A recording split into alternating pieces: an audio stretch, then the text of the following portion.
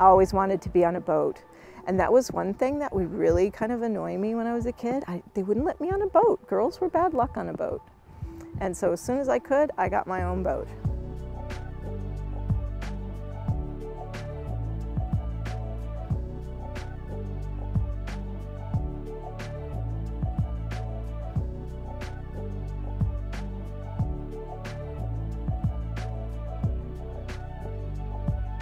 I'm a founder and a project manager of Fishing for Success. We fish, we split fish, we fillet fish, we cook fish, we paint fish, we rind sticks, we weave rope, we knit net.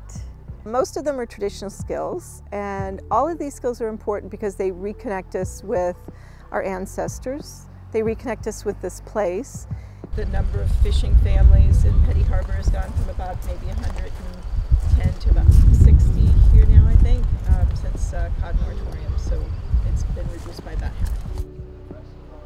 The average age of uh, a fisherman and a fish maker, the women, is almost 60.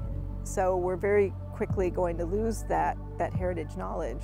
And those skills have been taught down, you know, passed down through generations and we can't let that link be broken. Oh, this stuff, it's, it's like kind of slipperier. Yeah, it's in, in places you feel it's more slippery, yeah. right? That's why I'm doing it. It's, it's for the next generation.